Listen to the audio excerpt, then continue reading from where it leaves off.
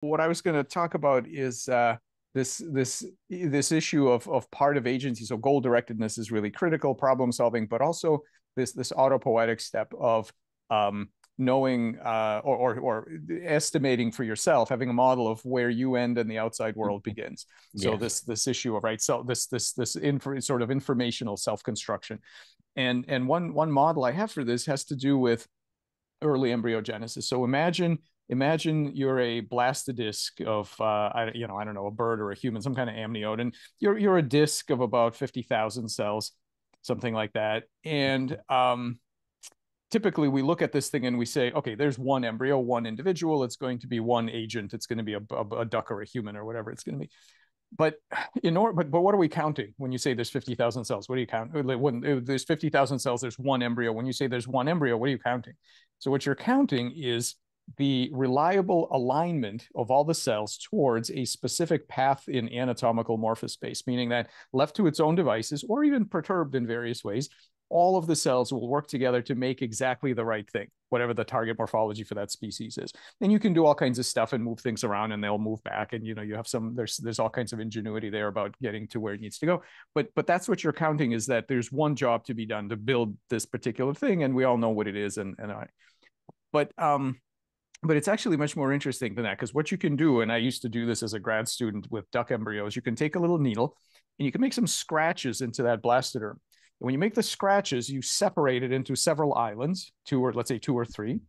And that early system that aligns cells towards being one embryo, it's got this, among other things, what it has is this ability of um, local activation, long range inhibition, such that you know there's an organizational it's a few cells become the organizer and they tell everybody else you guys are not the organizer i'm the organizer and then mm-hmm. and then they sort of organize the embryo so so when you separate this thing into disconnected islands you Eh, basically each one of them can't feel the others because there's a there's a bar, there's an empty space between them. Mm-hmm. Later they will heal, but until that happens, each one is an individual, and each one becomes a separate embryo. And when they do heal, you get twins or triplets. And mm-hmm. so now this is very interesting because if you think about that 50,000 cells, every cell is some other cell's neighbor.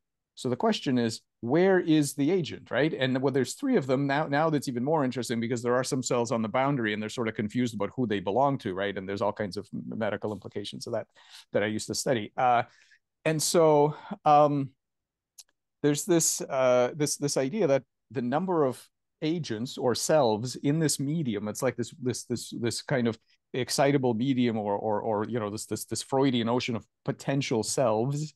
Um, there could be zero, one, two, three, you know, maybe up to half a dozen in, in a typical uh, blastoderm, and you don't know how many there is. It isn't preset. It's not mm. preset by the genetics. It's not preset by the hardware. It, it's an emergent uh, fact of, of, of the physiology where some number of selves will demarcate themselves from the outside world.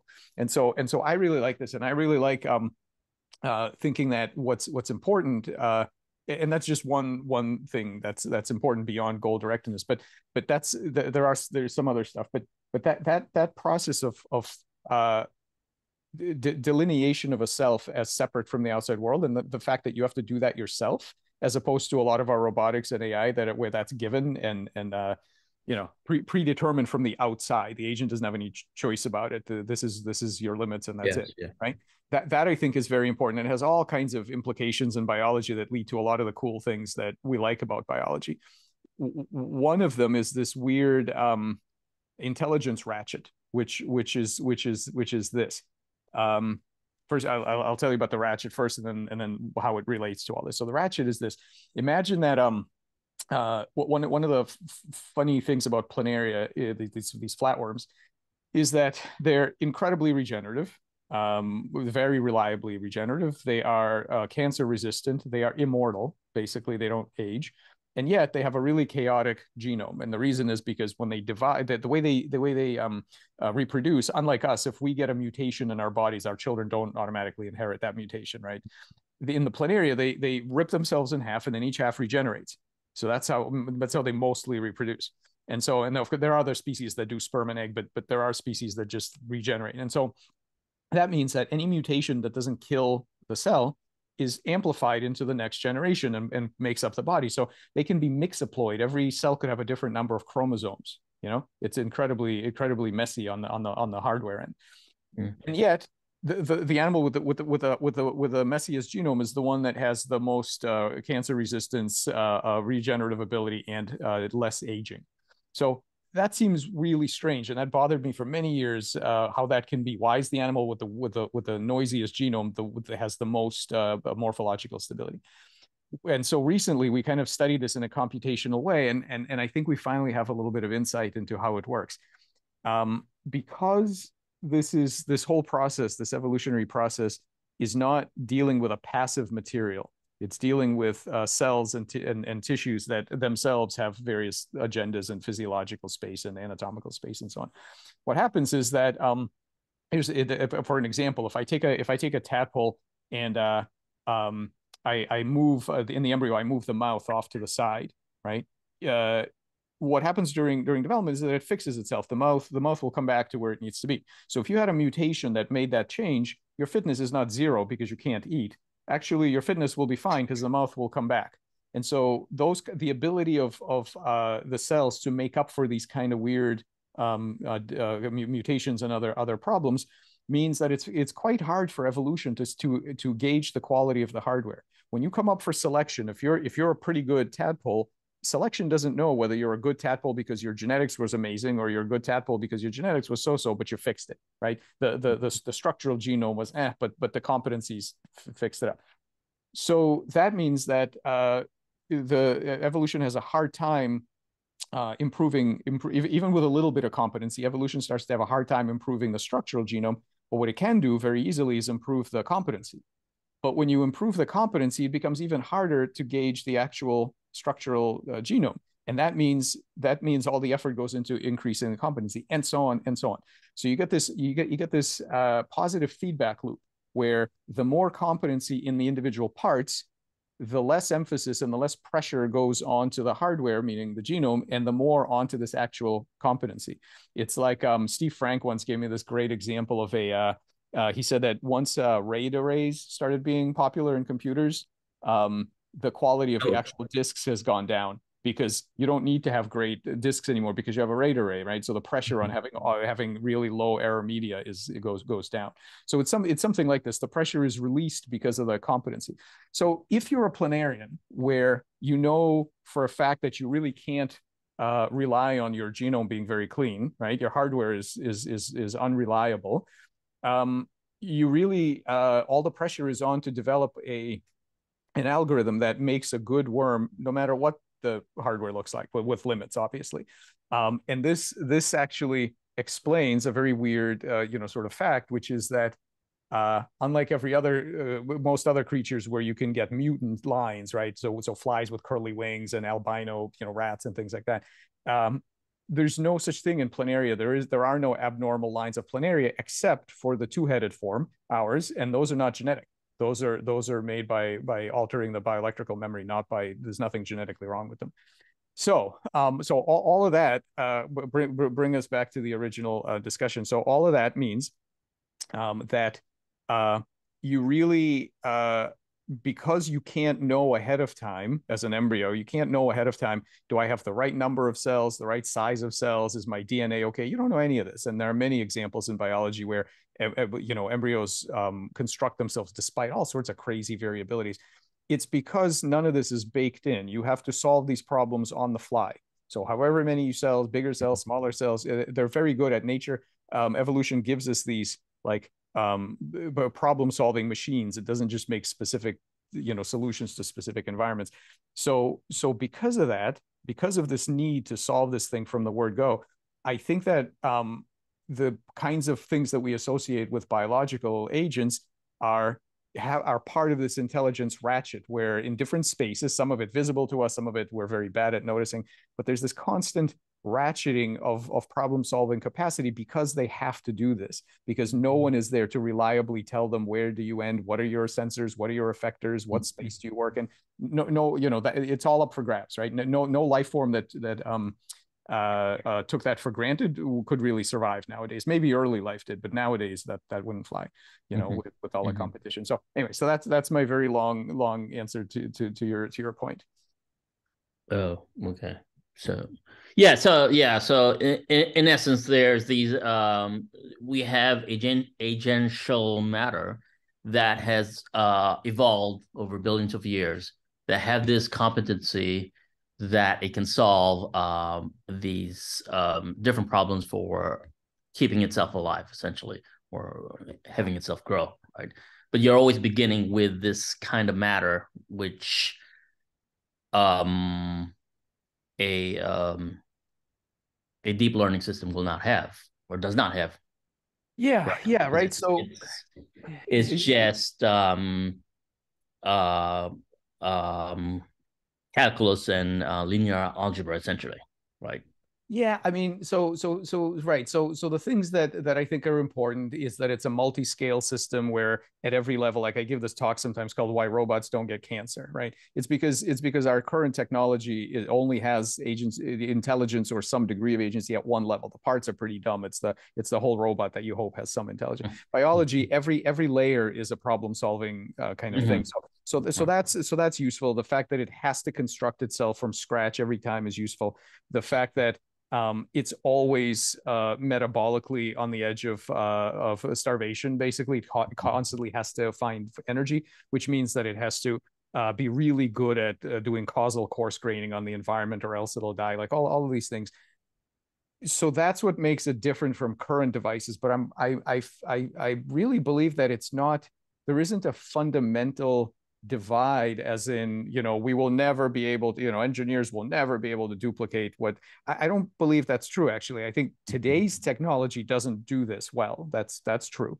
But mm-hmm. i don't see any reason why if, if we um, learn uh, the, le- the the lessons correctly from biology and i'm sure there are others that that we don't know about i don't see any reason why we couldn't engineer this way later and in fact, in fact, you know, I, I, I would, um, Jamie Davies and I wrote this thing called Engineering with Agential Materials. Like, um, I don't think it's unreachable for us. I, I, I don't think it's it's magic. I don't think evolution has a monopoly on this. I think engineers could do this, but but I do agree that today's technologies are not this kind of system. They're they're, they're different.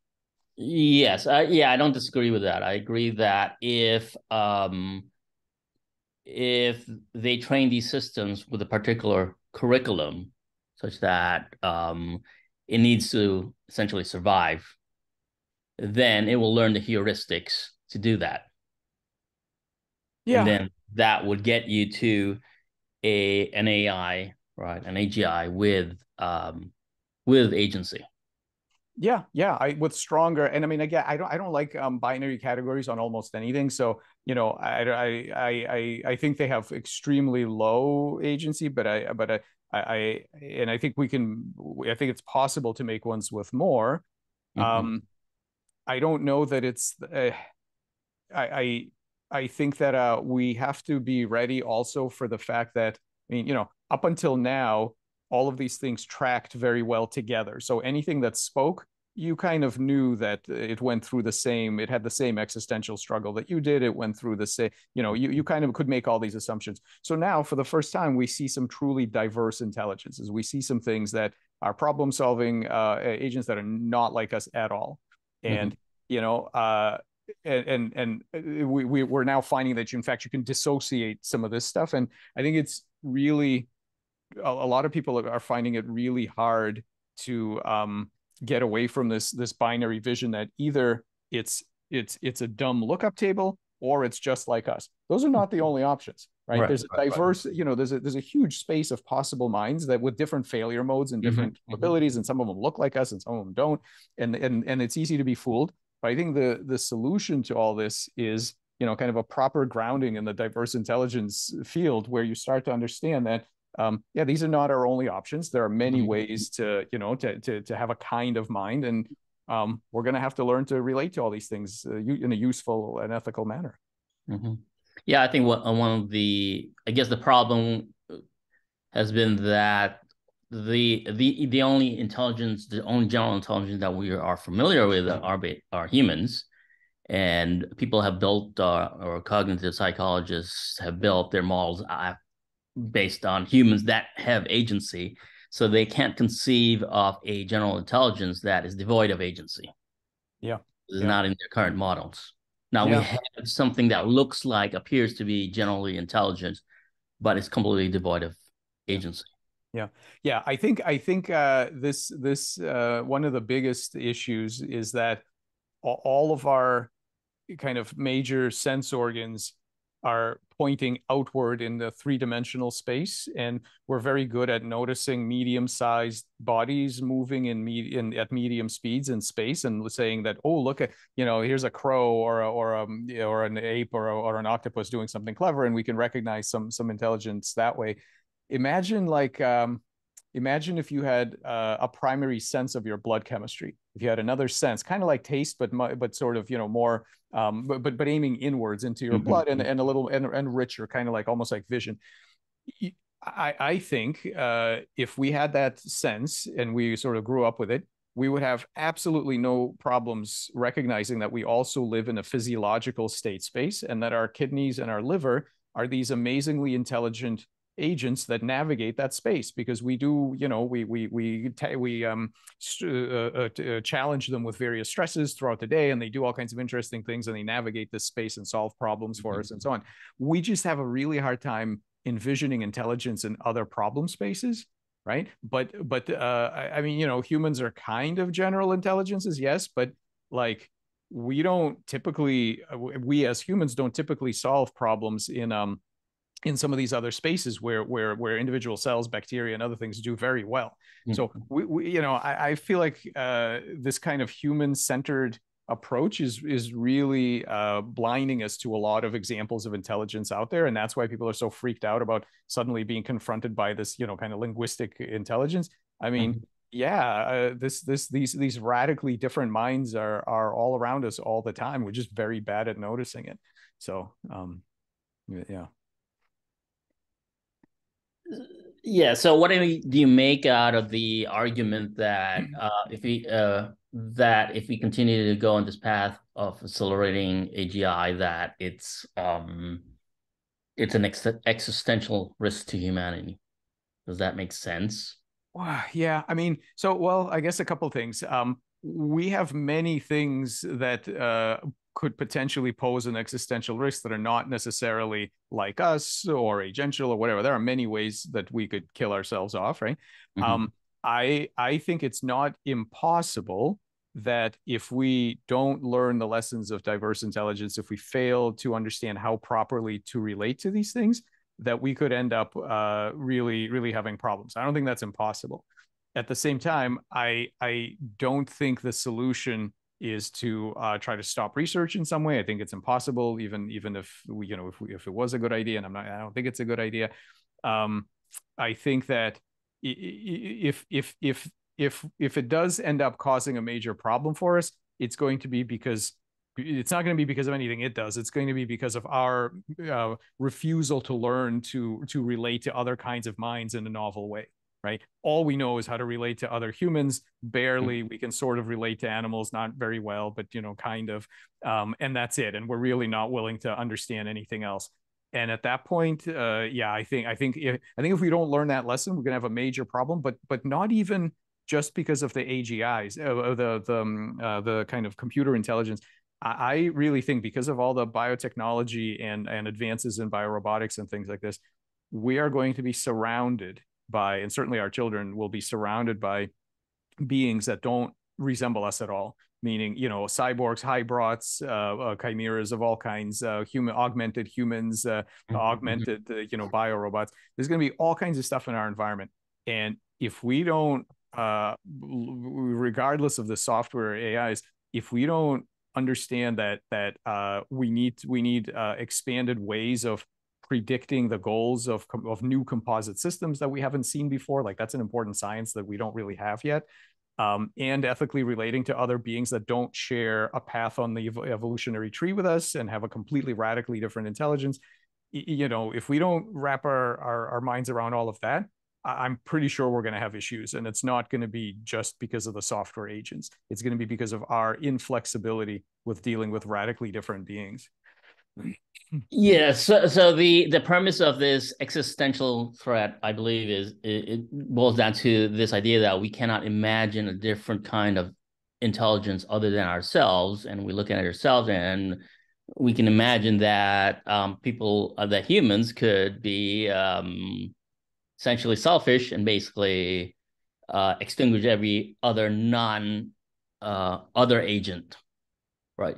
So, so it's related to having this uh, limited um, viewpoint or model of um, other uh, intelligences, which is also the, the same problem that you're bringing up, which is if we don't expand that, then we're going to have a problem. Yeah, yeah, yeah, yeah. I think, yeah, I think, I think we have to. Uh, I think we really need an, a, you know, an education in this in this uh, diverse intelligence. Uh, these ideas, um, and uh, this is going to be required because because there's all kinds of stuff coming not just the software this you know not there's the software version. And then and then um yeah you know and, and i also see i also see uh, some people are really worried you know sort of in the opposite direction. It's like okay if these things become that i mean i get email i'm not even really you know in the in the in that side of the field but i get emails all the time you know what am i going to do when the you know when the ai is so good at uh, you know uh, doing all the things that it's going to do?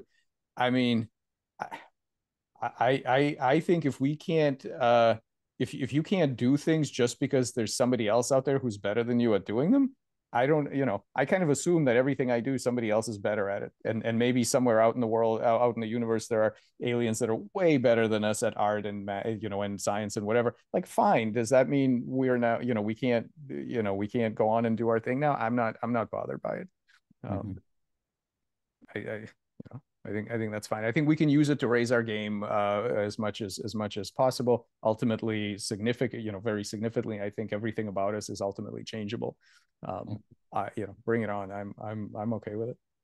Yeah. So so so the expectation here is it's not just the AGIs that's going that's going to give us trouble. There'll be alternative um, or other biological uh, um, general intelligence that will eventually prop up yeah, I mean, already. So well, so so two things. One one is, uh, you know, when people say, "Oh my God, we're going to make these uh, inc- in- incredibly intelligent agents and release them into the world," we already do that. It's called having kids. We we already make like all the time, like you know, right now as we speak, somebody's making a, a really intelligent, uh, you know, a future intelligence with minimal control over over its its uh, you know behavior education upbringing who the hell knows what it's going to do some of them do amazing things some of them do horrible things we already do this. So we already know how how this how this kind of plays out. All kinds of um, uh, uh, consequences. And uh, i think that uh, uh, we, within on the biological and just just imagine right?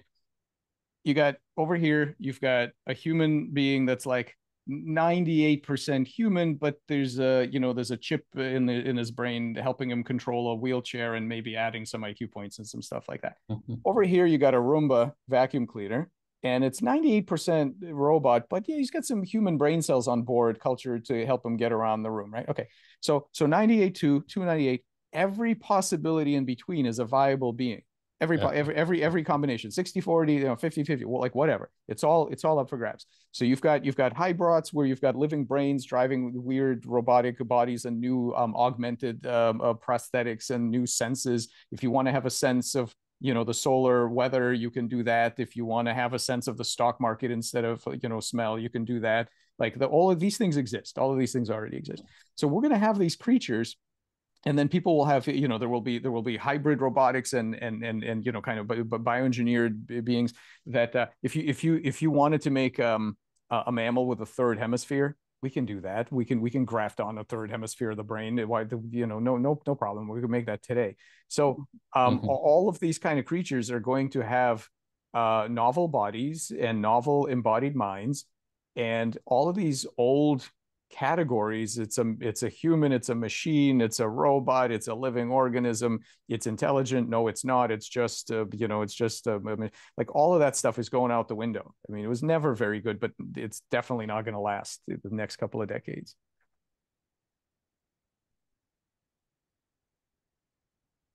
Mm. and i don't think anyone's prepared for that absolutely they're not prepared for that. They're absolutely not prepared for that. They, they're not even prepared they're not even prepared to think about it. I, I have i have constantly uh, arguments with people who are who are still using these binary categories. It's just a cell it's only chemistry and physics but i i am a human. Like okay let's let's follow you backwards and guess what you were just you know a few years and nine months ago? You were a single cell a little blob of chemistry and physics. So so there's a smooth gradual continuum and there's no magic lightning bolt during any of that time period where somebody says boom now you've gone from physics to mine that doesn't exist. So you so so there's this continuum and then I can stretch it, right? So, so I've got this slide where I show, okay, so there's a human in the middle, and up here there's the evolutionary path, and you used to be a, a, a microbe up here, and there's a developmental path, and you used to be a unfertilized oocyte down here, and then you could go sideways, and you can do all kinds of biological modifications this way. You can do all kinds of technological modifications this way. All of this stuff is completely continuous. There are no binary categories anywhere. So, so when people uh, insist on thinking, is it intelligent? Is it a machine? You know, it's like um it's it's i mean these categories are are are worthless now. Uh we have to we have to rejigger all of that. And then and then comes the hard part of uh making the institutions fit right? It's sort of like the notion of an adult right? We have this notion of an adult. What's an adult? Mm-hmm. does, that, does anything happen on your 18th birthday to make you an adult nothing. We just we just have this this this binary cutoff to help you know to help the legal system figure out you know how you're going to get charged in court but that's it. There's no there's no you know there's not really a, a sharp boundary there. So you know um, i've talked to i've talked to uh, legal uh, you know kind of legal scholars and so on about how we're going to figure this out and what you know what it means to um uh to to to to to be a person. And eh, these are not new. I, I mean science fiction has been dealing with this stuff for you know mm-hmm. 150 years. So this these are not new. But I, I think i think now we're definitely getting to the point where we need to be figuring this out. And and this and this ai stuff is just just a, a, a tip of the iceberg on this. Oh okay. So yeah so yeah so all these other things would likely if they're coming from biological material would likely have some kind of agency greater than the the kind of agency that we have for computers and uh, uh, say deep learning systems. So so you, so you're assuming a world that all these things aren't are are autonomous and alive and um, and um, I guess uh, have some sort of um, quote unquote free will to do whatever they want.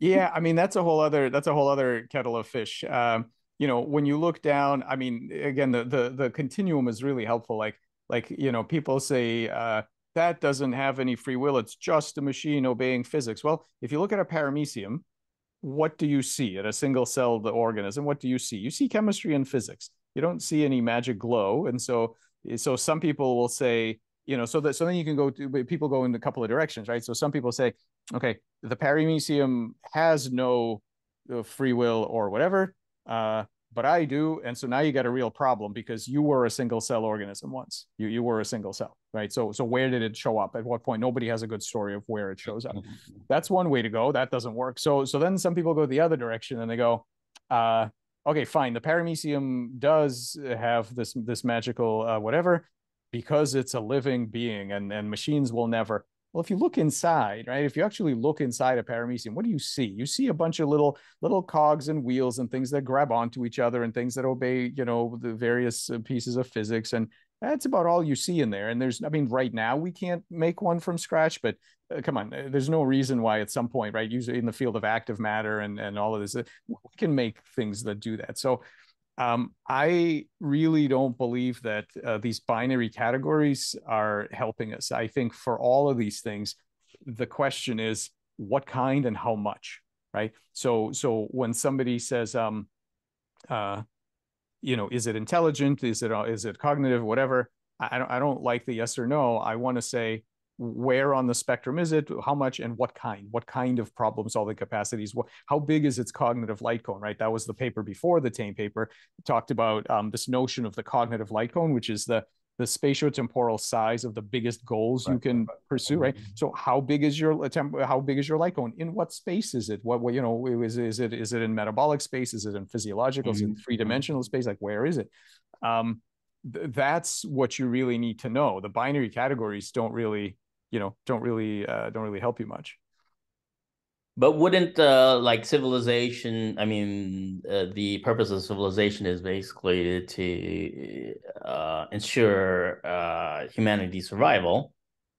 Wouldn't wouldn't civilization itself basically legislate that humans would pri- be prioritized over every other uh, general intelligence? Um, well, there's more of a legal thing. Yeah, yeah. Say. Well, the I mean, right, the legal system is going to go crazy. I mean, it already has a million problems because of you know uh, the the the Twinkie defense and things like this. Where if you if you really follow through neuroscience, you know, the question is what what what what does it mean that this person could have done otherwise? Well, what exactly does that mean? You know given given given a, a, a kind of a, a materialistic uh, view of, of the brain. So so the the legal system already has issues but the human the issue of having hu- of, of of prioritizing humans suggests uh, that we have again a, this kind of binary category of what a human is. So so i think to a primitive to a primitive uh, early human somebody like us we've got we've got some glasses we've got some hearing aids we've got some um, you know some shoes we got a toothbrush we got maybe an iphone in our pocket to them. You're not a human. You're you're a walking uh, you know um, a multi-system uh, some kind of a like like you're way mm-hmm. beyond what a human is. I don't know what you know you got all this other other stuff. So so just be so so that and in the future plus also a brain implant that gives you direct access to you know to a google search and some infrared you know eyes at the back of your head like so so what? Are you no longer human? So so that uh, you know that's of course going to be argued in court somebody's going to say listen I may have tentacles and I may have a wheel or two, but what's wrong with me? I, I you know, how come I'm not human? I, I have the same, you know, so so that um, uh, and that of course also has been dealt with with science fiction a lot. Um, that brings up the question of so so what is an essential human? Like what what is it to be to be a human, right? What what do we want out of that? So let's run down the list. So is it the genome?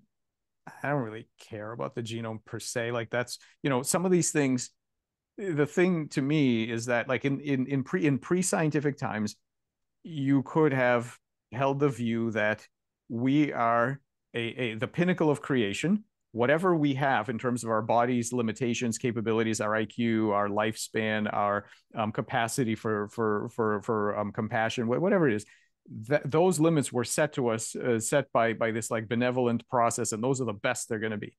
Okay so so we're out of that garden of eden now and now we realize that that's just where evolution left us. That's all. There's nothing there's nothing magical or or optimal about where we are i don't believe. I think that uh, evolution is this kind of like meandering uh, sort of search process and it happened to to find that this particular form is good enough to survive and leave a bunch of offspring. Well that's great but i don't see any reason we have to stay that way that it's arbitrary and i i like this this notion of morphological freedom i think i think each of us uh, doesn't doesn't it owes no allegiance to this random process that happened to have dumped you at this particular IQ level with this level of uh, of of you know damage or birth defects or whatever whatever you've got. So uh, that means, do I care about the keeping the genome pure? No, I don't. Do I care about keeping the anatomy pure? We gave that up when we started uh, using canes and, and glasses and, and things like that. I don't really care about that. There's nothing magic about this anatomy. I, am I'm, I'm not I'm not trying to keep that um, preserved. Uh, what I do think we have that's kind of fundamental is uh, is is in particular the cognitive the uh, a minimal cognitive light cone as far as compassion is concerned. So what I mean by that is the moral ability to actively care about some degree of other some some some quantity of other beings uh, well-being right? And so th- that i think is what that, that level is what makes us human. Now going up beyond that fantastic bring it on. Going down below that i don't think that's good right? That's that's that's what i would argue against. So i would think that modify away eh, change whatever you like to to to give yourself a better life to to to, to fulfill your um uh, uh, you know, for your your potential.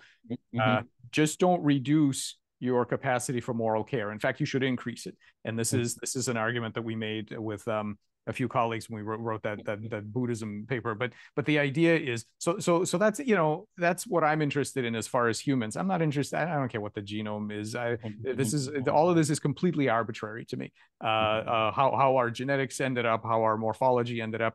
Ah, you know whatever um, uh, let's improve it but but uh, but but that that that cognitive light cone with respect to the compassion for others that's gotta oh, that that that should only increase i don't think we should Okay. be increasing it So your vision of the future of a civilization is that the citizens of that civilization would have a minimum light cone, so to speak, compassion light cone. Anything below the minimum compassion light cone disqualifies you from citizenry, so to speak. well that's what we have that's kind of what we have now right? So so if you're you know if you're a dog or if you're you know whatever like you have certain protective rights but you are not a full uh, sort of member of of society right? And it, it, it just so happens like I, I think i think one thing is that uh we are we are kind of special on this planet in the sense that it just so happens that there's basically one dominant species didn't have to be that way. Imagine that there was another dominant species that was like i don't know 40 iq points lower. Like Mhm. that, that would be a really tough case right? Because you know um not low not like not low enough that you could just say animals but Mhm. also not high enough that you want them running a nuclear power plant or flying airplanes. What do you do? Like that would be really tough. We're just we're just fortunate here that that there's such a gulf right? So we could always say oh look you know there's this category but it didn't have to be that way so i, I see i see a future where we look like uh, one of my favorite scenes is um the star wars cantina scene you know where Mhm. uh where right with is like every kind of alien every kind of robot that you know things are on wheels and playing instruments running around Th- this is this is what the future looks like to me i think that as long as you've got the light cone to to participate with a degree of responsibility and compassion for others you, you are part of the society and then whether you've got wheels or or you decided to have tentacles or a propeller on your head that's uh, you know that's going to be I- i think those kind of people in the future right the f- future people are going to look back on us and they're going to look at all of our wrangling about uh about uh, gender and skin color and prosthetics and and all of this stuff. They're going to laugh at this. This is going to be like hilarious. There, there's going to be such such variety of embodiment at some point where where you can pretty much live in whatever body you want to live. You can have more iq you can have a different kind of perceptual system. Um, this is all of our wrangling over this stuff and, and what's a human and and how it's going to be laughable. And uh you know that's that's one reason um uh, I, I really like uh, you know the, the Star Wars the Star Wars vision is very much like that where you know the friends with all the droids and all this.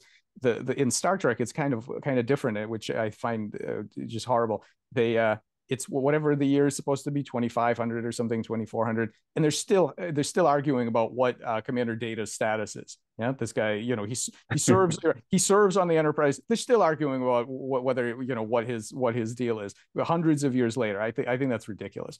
I think that uh you know but within a hundred years from now maybe sooner the, all of this will seem uh, assuming we're still alive and we haven't like blown ourselves up i think all of this will will be will be hilarious to to to, to people of that time But to have a civilization that accepts that kind of diversity, you would have to have some sort of um, guiding principle that says, okay, it's not Yeah. acceptable to have a just single uh, general intelligence, but we're going to accept all these kind of diversity. I think we're, I mean, I think we're well on our way, right? I mean, the principle, if I had to boil this down, I would say, I would say m- m- you want to relate ethically to someone no matter what they look like and where they came from.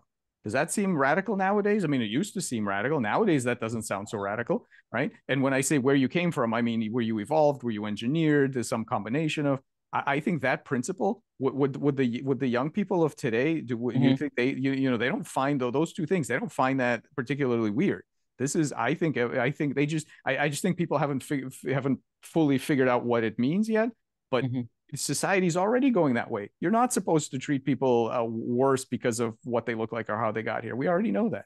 Right, but the fear of AGI is that this other uh, general intelligence, which would could become super intelligence very quickly, would be a threat to uh, our own uh, existence.